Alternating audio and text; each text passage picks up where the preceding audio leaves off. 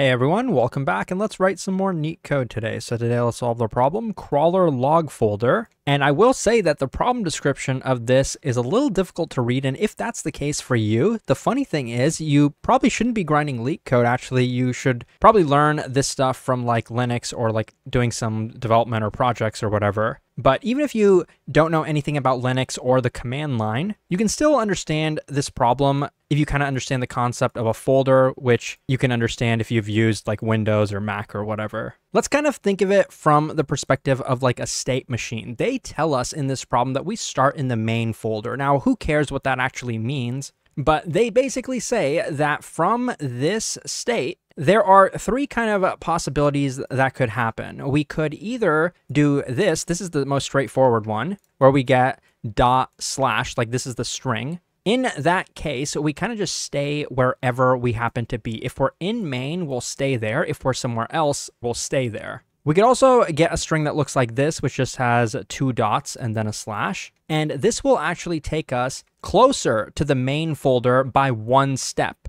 Now, if we're already in the main folder, it doesn't do anything. So in this case, I'm going to show you that here, we're going to also stay in main. Now, otherwise, we might get a different string, and it could pretty much be anything. So it could be something like this. D1 stands for directory 1. So this is saying that now we will move into a child directory, or rather, that we're in the main folder right now. And inside of the main folder, there is a folder called D1. So then we will be in this folder now. We'll be in main slash D1. This is where we're currently at. So now, once I kind of show you the three decisions that we can kind of take from here, I guess it's kind of a decision tree, kind of a state machine. I'm honestly not really sure the best way to describe it. But the main possibility, suppose uh, from here now we get something like D2. That would take us then into another directory called D2. So uh, that might look something like main slash D1 slash D2.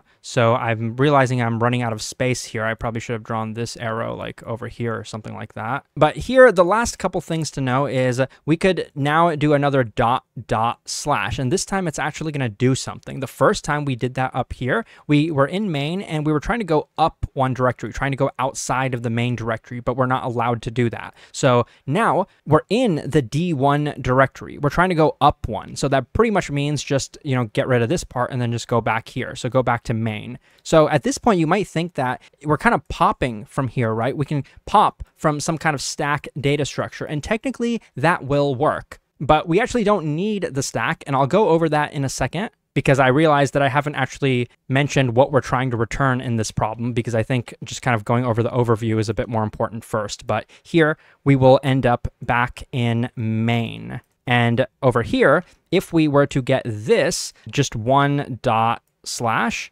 then we are going to end up in the same directory. So that's like the very simple case. Nothing's going to happen there, main slash D1. So the main complexity comes from the fact that if we get a directory, we're going down into another directory. If we get dot dot slash, and we're not already in the main directory, we're going up one level. So it's pretty much like you're either going down or you're going up or you're staying exactly where you are. So those are the three states that we have to keep track of. Did we go up, down, or did we stay the same? So what we want to return is given a list of operations like these, after we perform these operations, how many operations would it take for us to get back to the main directory. Suppose the operations we got were D1 and D2. Well, in that case, we're here, so obviously it would take us two operations to get back to main because we'd have to jump up two directories. From here, it would be zero because we're already in main, and from here, it would be one because we're in D1. It would just take one directory pop or you know jumping out of it to get back to main.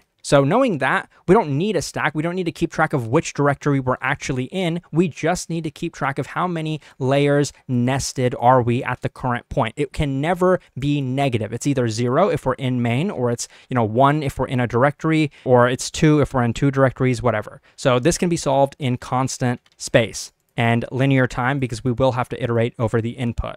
Now let's code it up. So I'm going to keep track of how many operations we are away from the main directory. Initially, it's zero because we're literally in main. So then I'm going to um, end up returning the result, but now we actually have to go through the logs, the list of operations that they're giving us. So for log in logs, there are three cases. The first one is the simplest one. That's what I'm going to do, dot slash that's where we stay the same. Like we don't go up or down, we just stay the same. So I'm going to put a continue here. Otherwise, log is equal to dot dot slash. And in that case, we're going up. So you might think take result and decrement it by one perfectly reasonable thing to do. We're trying to move closer to zero. But what if we're already at zero? What if we're already in the main directory? How can we move out of the main directory? We're not allowed to do that. So one thing you could do here is say if result is greater than zero, only then decremented. But I personally don't like to have like three layers of nested things. So I'm going to go ahead and actually just rewrite this like this. Result will never go below zero. So set it to the max of zero and result minus one. I think that's a slightly more Pythonic way and a cleaner way of doing it but you can do the other way if you prefer. Lastly is the else case. And the reason I put this in the else case is we have no idea what this string could be. It could be a D1 or a D2, who knows what the directory name is, and it doesn't really matter to us anyway. We don't have to keep track of that. We'll just say take the result and add one to it because we're going into a directory that's moving us further away from the main directory that we started at. So that's why we increment the result. So now I'm going to go ahead and run this. As you can see, it works and it's pretty efficient. If you found this helpful, check out neetcode.io for a lot more. Thanks for watching, and I'll see you soon.